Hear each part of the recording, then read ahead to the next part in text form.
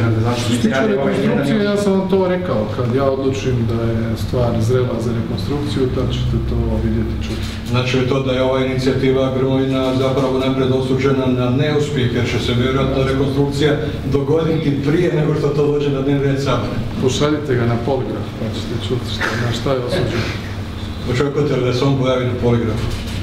Pa ne, ali očekujem da ako ima trunke nekakvog političkog digniteta nakon ovoga što je kolega Kapolica napravio, to je da je čovjek otišao na poligrafsko testiranje nakon što ga je ovaj lažno optužio da je odlazio u Slovensku, budući da je e, to poligrafsko testiranje napravljeno prema svim pravilima kako se to inače radi, e, ne vidim neku svijetlu budućnost lažljivaca u politici poput Grmaja. Smatrate li da je zapravo on potvrdio s ovim da nije provjerio informaciju koju je objavio, a to je da je Kapolica odlazio u Slovensku?